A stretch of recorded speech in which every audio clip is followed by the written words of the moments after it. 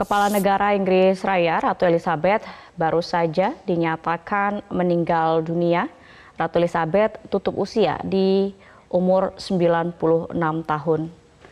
Sebelumnya pihak istana pada Kamis pagi waktu setempat menyatakan kekhawatiran terhadap kesehatan Ratu Elizabeth dan meminta Ratu Elizabeth tetap berada di Kastil Balmoral, Skotlandia untuk pengawasan medis secara intensif.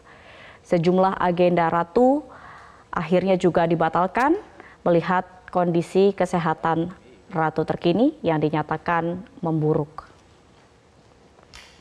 Sebelumnya Ratu Elizabeth memang dikabarkan mengalami mobility issue atau gangguan mobilitas mengingat usianya yang sudah mencapai 96 tahun.